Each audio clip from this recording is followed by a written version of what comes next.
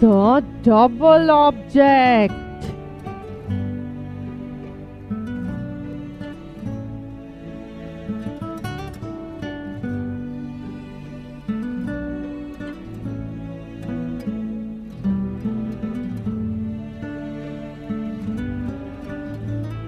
The doer of an action is called subject. The thing on which the doer acts is called object. The word that mentions the action is called verb.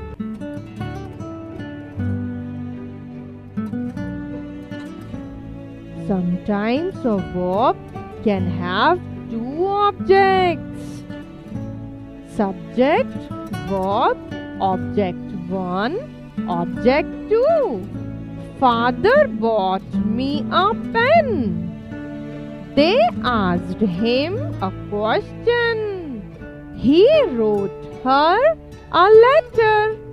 Object 1 is called the indirect object and object 2 is called the direct object.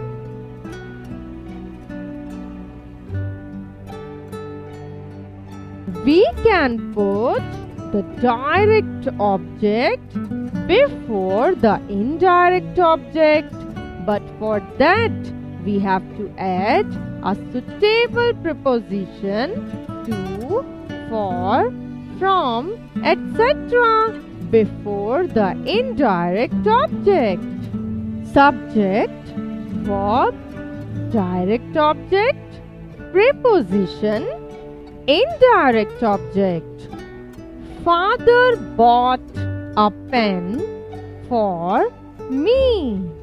She wrote a letter to me.